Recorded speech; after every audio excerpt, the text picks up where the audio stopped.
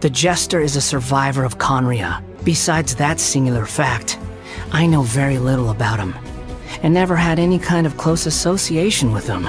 He seems to want something from me, though. In the past, he assigned to me many important tasks, including a number of trips to the Abyss. He's simple of mind and not that strong of body. Naming him to the lowest ranked seat lowered the Harbinger's collective prestige. Thankfully, I'm no longer part of that group. Hmm, let me ask. What should you do if you were to encounter a damsel who is oblivious and innocent at any given time, and unconcerned and unfeeling in any given situation? If it were me, I could at least challenge her to a fight. But if it were you, with your conscience, I would stay away from her. She has a terrible personality and cares for nothing outside of her own research. But even with that amount of dedication, she still produced a copious amount of garbage and could only secure a ranking that's still one whole place beneath my own. How pitiful. The ever-righteous captain. The brave and fearless captain. The nigh invincible captain. Even my mechanical ears demand maintenance after listening to so many compliments from the members of the Fatui.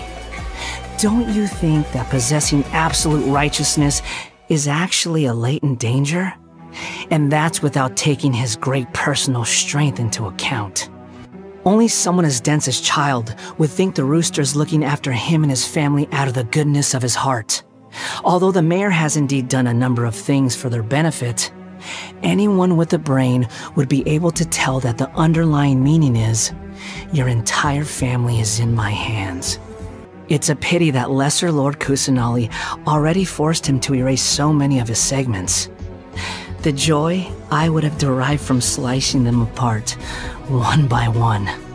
Oh, the ninth rank guy. He's obsessed with the idea of fair exchange, to the point of wanting to overthrow the natural imbalance between gods and humans.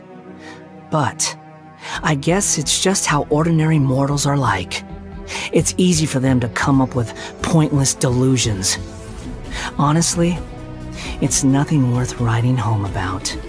Just like how there's also nothing impressive about his abilities or choice of partner. Hmm. Anyone who chooses to work closely with a doctor is sure to meet a nasty end. A wolf in sheep's clothing. To exert a higher level of control over people, she puts on a graceful and cordial front. Most of those who have seen her true crazy self have gone poof. Everyone praises her for her kindness and benevolence, but they forget that love is also a form of sin. What if she's just trying to compensate for something? Nothing remained in her ashes. I have no interest in those who have lost their future.